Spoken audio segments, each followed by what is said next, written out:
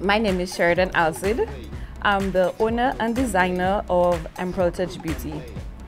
Empral Touch Beauty is a is the home of beautifully handcrafted clutch bags and accessories that are bold, unique, elegant, and they're perfect for a date night, business, a formal event, or just a typical casual day. I would say because of my deep love for fashion and my desire to share my creative skills, I decided to launch my brand.